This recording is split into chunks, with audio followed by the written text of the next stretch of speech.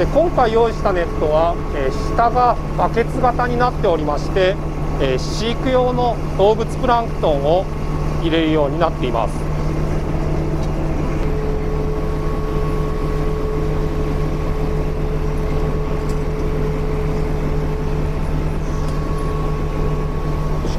はい。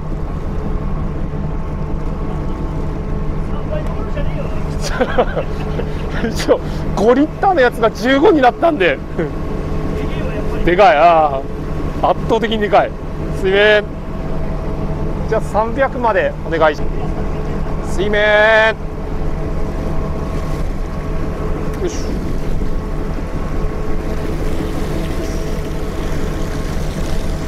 一回やっぱり入れ入れちゃいますか。やっぱり。どうしますかねここで。ああでもなおもりおもり暴れそうな気がするんで上げちゃいますね。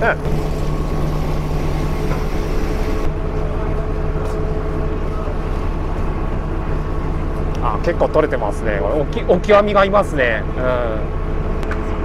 なんすかね。ヒラヒラしてましたね。オレンジ色のあれ。魚？泳いでましたよね。なんかひらひら何だったんだろう。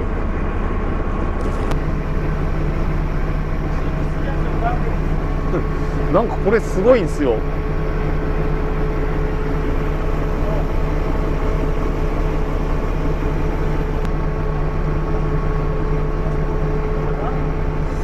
なんすかね。わかんないですけどなんか動いたんですよこいつあなんかああ何なんですかね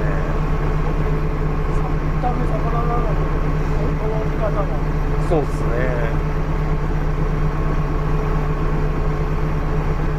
でも目みたいなのないっすよね。なんだろう。